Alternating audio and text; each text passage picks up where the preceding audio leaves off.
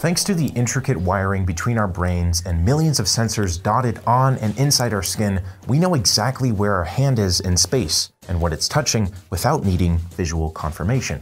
That's why we can close our eyes and still fist bump the left hand to the right hand without even looking at it. Right now, only humans and animals can do this. Robots, on the other hand, rely on sensors and positional data, but what about when we need robots to gently pick up Baby Yoda that's in the floor of a burning building? Well, a team at Cornell University is building digital nerves that help robots do just that. This is Robots Can Now Feel. Rather than mimicking the electrical signals in our nervous system, Dr. Rob Shepherd and his team turned to light. By embedding optical fibers inside a 3D printed stretchable material, the team engineered an optical lace that can detect changes in pressure less than a fraction of a pound, and with pinpoint accuracy to that half the width of a tiny needle. The invention isn't just artificial skin. Instead, the delicate fibers can be distributed both inside a robot and on its surface, giving it both a sense of tactile touch and, most importantly, an idea of its own body position in space. Eventually, engineers hope to use this fleshy, washable material to coat the sharp, cold metal interior of current robots, transforming C3PO more into Westworld. Now that robots have synthetic skin that reacts to their environment, will they have to worry about shaving their hair? The question brings us to our sponsor for this week, Manscaped. Let's imagine a dude robot, right? He's about to go on a date with another robot, but he's looking like a smelly, hairy beta unit, so he heads to Manscaped.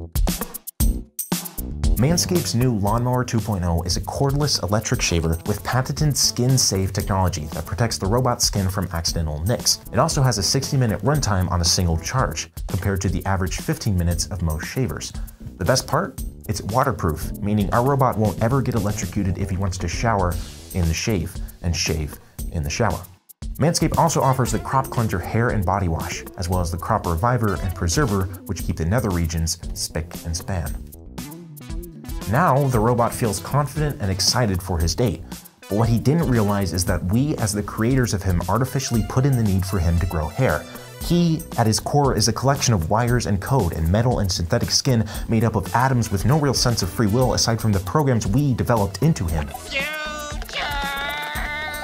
Head to manscaped.com slash disrupt to get their special offer of everything mentioned, plus free boxers, disposable shaving mats, and a travel bag, all for $74.99. Or the Lawnmower 2.0 for $49.99.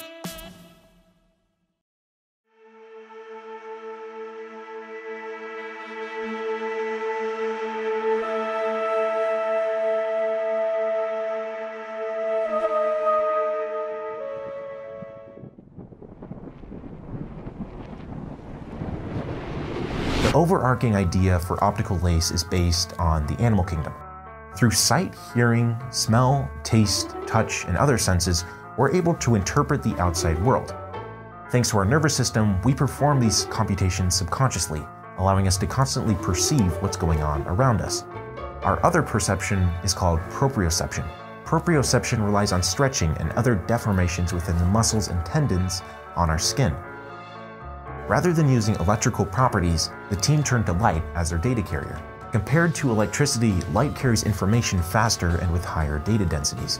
The team decided to mirror the laws of nature in technology. Now let's theorize. Humans build robots that can feel. Humans build virtual reality that feels real.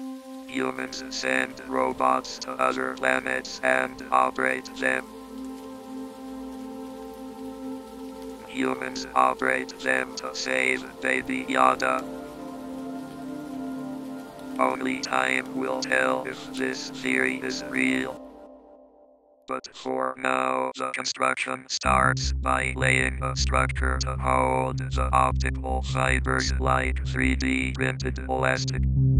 These threads guide light from point A to point B. When pressed down, the signal distorts slightly. The stronger the pressure, the brighter the output, mirroring human biology for computer technology. Now, one can see a future where robots are better equipped to care for, say, a larger amount of the sick and elderly. The dark side of this could, of course, be the impending robot takeover, i.e., War. never changes. But hey, let me know what you think down below, and I'll feature a few thoughts in next Friday's Disrupt. Thanks for watching.